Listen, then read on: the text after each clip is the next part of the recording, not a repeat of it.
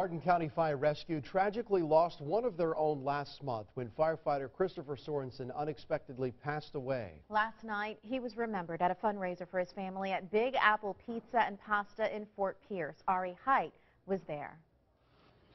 Thank you so much for being here. The Big Apple Pizza Van Duzer Foundation, and it's all for Chris Sorensen.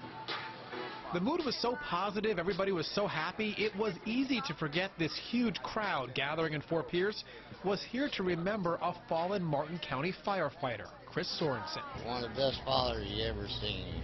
He spent all his off time with his kids. And Sorensen was with his kids last month when he died. Four-year-old Christian, two-year-old Lila. They were home when Sorensen just collapsed. Christian helped Lila get dressed. They walked three blocks looking for help but Sorensen died. He was only 36 years old. On this night, his friends and family joined fellow firefighters to remember him. I see young men with their backs to me, with their caps on, and I just know when they turn around it's going to be Chris, and it's not. But this wasn't just about memories. It was also about helping. Raffles and auctions to raise money.